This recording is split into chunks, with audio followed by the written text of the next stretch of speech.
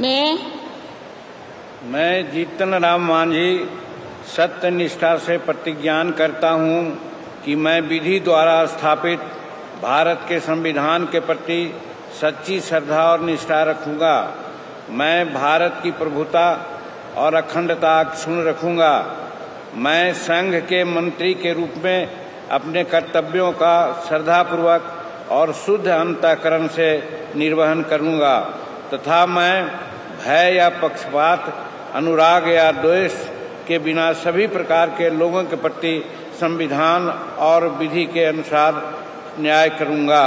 मैं मैं जीतन राम मांझी सत्यनिष्ठा से प्रतिज्ञान करता हूँ कि जो विषय संघ के मंत्री के रूप में मेरे विचार के लिए लाया जाएगा अथवा मुझे ज्ञात होगा उसे किसी व्यक्ति या व्यक्तियों को तब के सिवाय, जबकि ऐसे मंत्री के रूप में अपने कर्तव्यों का सम्यक निर्वहन के लिए ऐसा करना अपेक्षित हो, मैं प्रत्यक्ष अथवा अप्रत्यक्ष रूप में संसूचित या प्रकट नहीं करूँगा।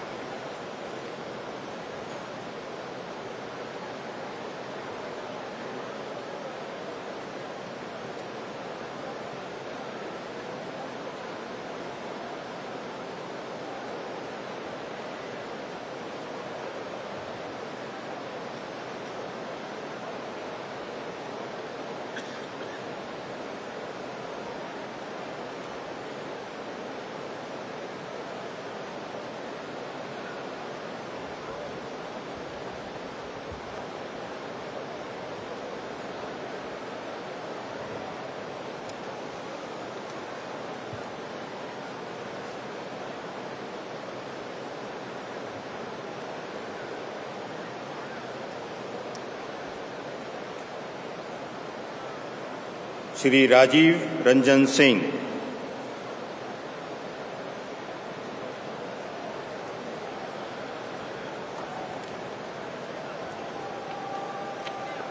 मैं मैं राजीव रंजन सिंह उर्फ़ लालन सिंह सत्य निष्ठा से प्रतिज्ञान करता हूँ कि मैं विधि द्वारा स्थापित भारत के संविधान के प्रति सच्ची श्रद्धा और निष्ठा रखूँगा।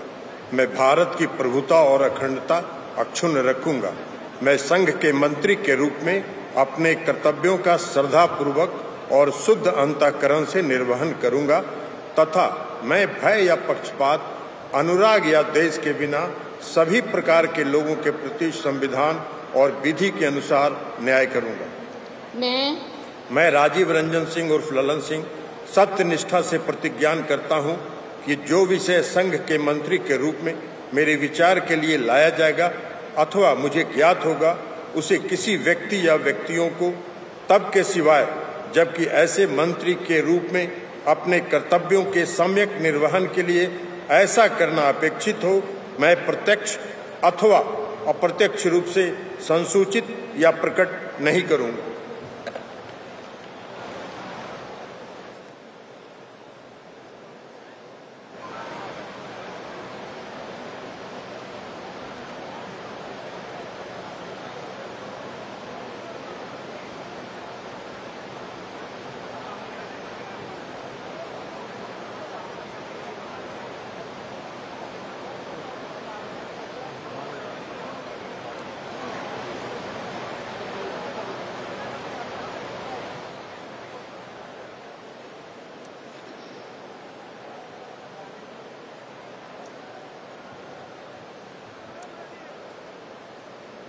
Shri Sarbananda Sonowal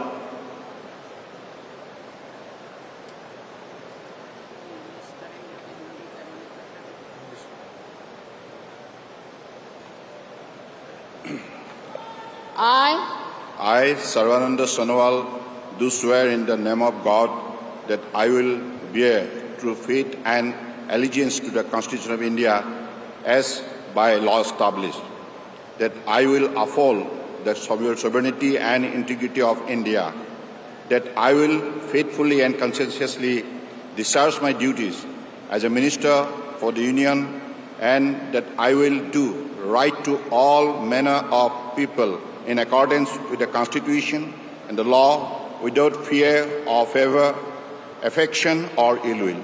I, I, Sarvananda Sonowal, do swear in the name of God that I will not directly or indirectly communicate or reveal to any persons or persons any matter which shall be brought under my consideration or shall become known to me as a minister for the Union except as may be required for the due discharge of my duties as such minister.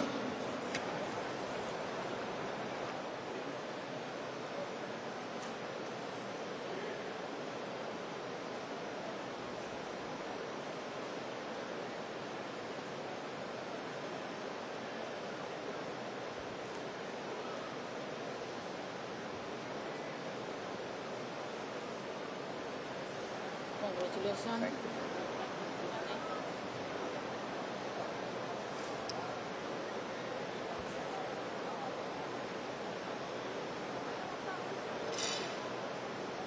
Mobile phone ଓ ସାଙ୍ଗସାଥୀ ଆପଣଙ୍କ ପିଲାଟିର ପାଠପଢା ଓ କ୍ୟାରିୟରକୁ ପ୍ରଭାବିତ କରୁଛି କି? ଆପଣ ସେଥିପାଇଁ ବିବ୍ରତ କି? ତେବେ ଆଜି ହିଁ ଆସନ୍ତୁ। ଆପଣ ଚାହୁଁଥିବା ମନ ଲାଗି ସମ୍ପୂର୍ଣ୍ଣ ଆବାସିକ ସ୍କୁଲ।